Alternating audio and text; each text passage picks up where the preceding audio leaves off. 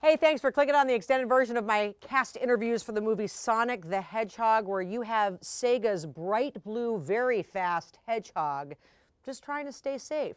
Ben Schwartz, who originally wasn't supposed to voice Sonic, he was just helping out, got the part. He's great in this movie. Also, James Marsden and Jim Carrey, back to his regular Jim Carrey over the top antics. I actually really liked the movie. A pleasant surprise for me, and I told the cast that when we sat down with them. I'm Sonic, a little ball of super energy in an extremely handsome package. On my planet, people were always after my powers. So I came to yours. Uh, Tara Hitchcock Harkins Theaters, which is the largest family-owned theater chain. We're just based oh, in wonderful. Arizona. But in five states. I'm hearkening out to Arizona. Perfect. Thank you for the plug. Mm -hmm. I have to tell you, I don't get nervous often. I'm a little nervous. You should be. Do you dread these days? no, I don't. I used to. You know, the uh, the, this business is a lot to get used to. You know, when you first do this, I think the very first day I did a junket, afterwards I went up and I cried. Because, really, you're yeah, not the only one. yeah, I've done that. I didn't know what I was what to expect, and there's a lot of similar questions and a lot of right. stuff like that, and my brain just didn't know how to handle it.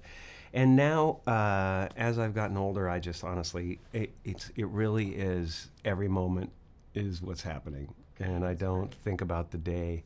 I think about you and me, and this is it. Well, thank you, because I'm yeah. now, now I'm calmer, so I appreciate yeah. that. I'm wet, I'm cold, there's a fish on my head, and clearly I'm not going to be able to do this on my own. I love the fact that Sonic gives some of the characters nicknames based on their everyday routine. If we were to watch your everyday routine for a few weeks, what is the nickname that we'd give you? Eclecticus. Okay, perfect. Uh, yeah, I uh, I am adding all the time to this kind of extraordinary uh, dreamscape that I'm living. I've become a chef lately. I've, I've been cooking my own meals and stuff, and that's a dance in its own. I just love it, man. I imagine it's like one of those one of those wonderful like John Travolta movies or something where the, there's a fantastic song and he's like dancing around the kitchen and doing some crazy, you know, whatever moves. Good morning, my rural chum. Mr. Dr. Robotnik. I love it. I love getting out on my bicycle in the morning and uh, flying through Beverly Hills like it's some kind of like uh, like some kind of modern video game. Yeah, Rocket Man. Honestly, God, it's become like a like a game grid. The whole thing. Then I cold plunge. Oh, geez, you do really? Oh, yeah. You don't it. get sick from that, going from hot to cold and doing no, the cold plunge? No, it's the greatest thing you could ever do for yourself. It's That's fantastic. the new thing literally you can be suicidal and you get in the cold plunge and when you get out you're just like it's like right. you're seeing cartoon birds and stuff. It's fantastic. Probably the boring lord. Oh, jeez. Because in the movie, it's the donut lord, right? Because yeah. he's a small town cop and there's no there's no crime, so he just sits there and eats donuts. And boy, I just find my regular routine really boring. Just dull. be like, whoa, oh yes, I get why he's uh, not really on Instagram that much. Yeah, right. this is. Uh, yeah. It's got nothing to add no, to my no, day. My goodness, what a vapid uh, waste of uh, space. Yes. Oh, look, he's getting coffee now. Okay, uh, exciting. right. Wow, he's reading a book. Wow. Whatever this creature is, I'm going to uncover the source of its power.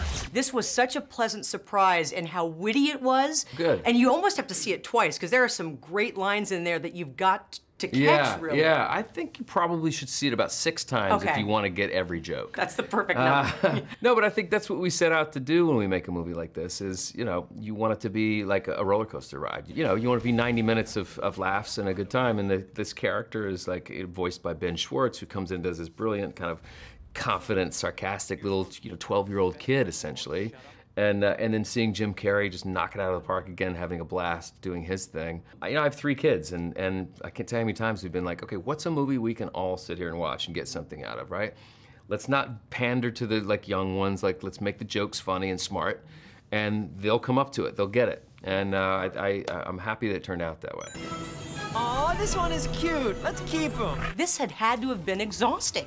Doing this, and I, I, mean, is that just physically taxing when you do something like I this? I was actually, good question. I was actually surprised how uh, actiony and physical this this role uh, demanded that of me. It was uh, it was surprising, but I'm always game for that. Like I'm always into into the action and into you know you don't want to just be sitting in a car through the whole thing just going chatting right. chatting chatting right. chatting you know you want to you want to um, get up, get moving around. I, I enjoy that that challenge. No one said you have to hit the gym for about six weeks before we start Sonic the Hedgehog. No, they didn't, but they should have because I was uh, I was very quickly um, reminded of how uh, my, my my general overall shape that I was in or not in, but uh, quickly got in shape because I realized it would it was uh, it demanded it of me. What we're gonna do here is we're gonna basically record you doing all these basic face shapes. That way we have uh, the ability to put the same building blocks of your expressions into Sonic. This did not start out as something you were playing. You were just there to help out with the voice work. So the very beginning, when they're like, you know, we have this movie, we want to try to sell it to the studios. We want to do like a five-minute clip.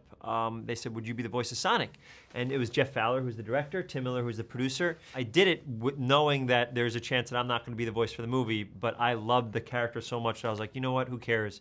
And um, as the movie got more serious and as Paramount picked it up, I'm sure they had their list of a billion very famous people, and everybody kind of fell in love with the way that I played him. And because of that, first thing, you know, just doing it because I loved the character, I ended up getting to be the character, which is a fun story for anybody in this business. More fun would be, did you ever find out who you beat out? Did you ever find out what I A-listers? I heard it was Daniel Day Lewis, Of course. Leonardo DiCaprio. Yeah. I heard it was Brad Pitt. He probably phoned it in. I heard that he phoned it Yeah. in. Mel Brooks did it, Oh, God. supposedly. I heard those guys had good auditions, but not great auditions. I always want to do this. Nailed it. He's a kid in it. I mean, your enthusiasm That's shines. how I tried to play him. Okay, I so- literally, that's exactly That's a, I love that you said that. Well, when was the last time you felt giddy, kid-like? Because he experiences things for the first time that we take for granted, and it reminds Yeah. you to not take those things for granted. When was the last time you felt like a kid, like giddy? Love that you got uh, that stuff out of there. Uh, I feel like a kid very often. I also find myself going back to things that I loved as a kid. Like I played, I plays, I have like a mini Genesis, which is like a smaller version of what you could play these games on, and find myself keep going back. Or I go to like Disneyland all the time. I the idea of any time to capture that feeling I had growing up, I find myself feeling warm and excited. So I I think Disneyland would be the last time where I was like a giddy little schoolboy walking around that place. Can't believe that I'm in the midst of magic. I am living my best life on Earth. I love his man cave. He's got everything from kind of a beanbag with, you know, band-aids on it to Yeah. a ping pong table. Do you have a man cave? And if so, what's in it? I don't. I wish I did. My, I guess in my living room kind of would be it because I have all my game consoles. I have like a Nintendo Switch, a mini Genesis, a mini NES. I have an Xbox. I have my cable box. I have my Apple TV. I have like everything electronic in that place. If I have a day off, that's how I kind of like meditate. I just play these games and watch old movies and stuff like that. I have no tan. When my friend Gisette helps me with makeup, I'm sure she has to like throw anything on me so I don't blind you with how I have to get out more. I think. Yeah, I think you, well, that's what a spray tan is for. Oh, okay. And I'm. Polish and very pale, so the spray tan comes in handy. I'm afraid of them. Have you done one? I do them regularly. Have I done one? Have I done I'm, one? uh, I, I have a thing in my house. No, I don't have a thing in my house. But uh, the only thing is, you kind of leave remnants of yourself, and I tend to sweat when I get Oh, nervous. so I'm like, everybody "Ah." we know you know where you are, Yes, where you've been. What is in your man cave? Sonic's got a man cave. You sort of have a man cave. Your character, these techno gadgets and this big truck. But what's in your man cave? I got paint, I got hmm. canvas, I got sculpting, I got computers, I have pads with markers that I make cartoons. I become a contributor to New York Magazine and Playboy Magazine. All of it is lived in tiny increments of this is what's happening now, and I give it my total focus.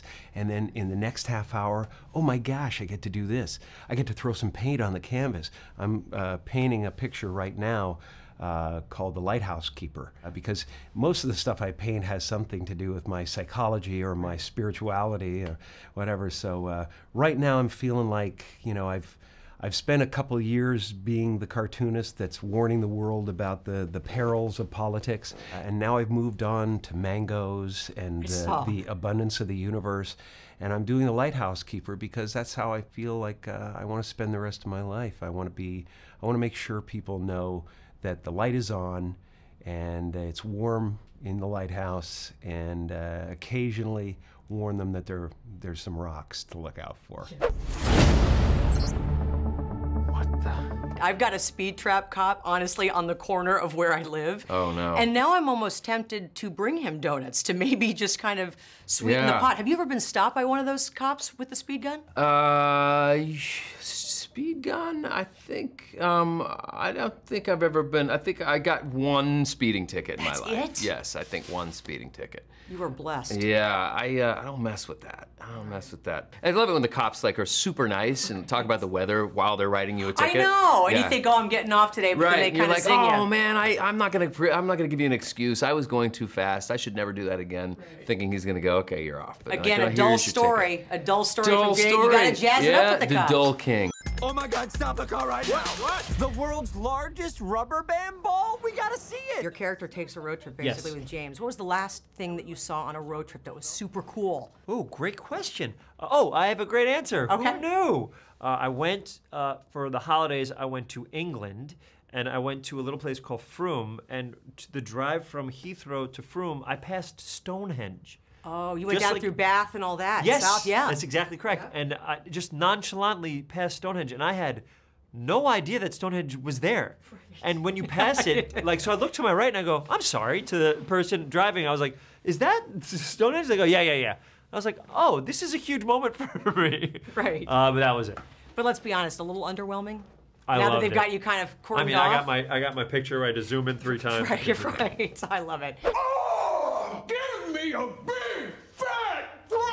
What does it feel like to have brought such joy to so many people continually over decades? I'm. What does that I'm feel like? Extremely gratified, honestly. Uh, there was a little bomb scare in uh, in Hawaii a little while back. You know that miss that false missile warning. We have friends there, yeah. Yeah, and uh, I was there. This is the cover of my novel, actually, Memoirs of Misinformation. It's coming out in May. My assistant Linda, who called me and told me that I had 10 minutes to live, and uh, that the missiles were coming, and she was crying. And she accidentally, in her tension, uh, took a screen grab of my face because it was FaceTime and I've used that screen grab, there's a look on my face like, ah, weird. Right, right. Hmm, what a funny way to end this whole thing, you know. And I, I went into the next 10 minutes, I had 10 minutes to live according to that. And uh, I went into the next 10 minutes in absolute gratitude mm. for this journey I've been on and this the exchange I've had with people. I, I really am so lucky. Well, so are we to have you around. Thank you so much. And now I feel very calm. You should teach yoga while you're at it because it's very calming. Let's go! This is my power. And I'm using it to protect my friends. Let's go!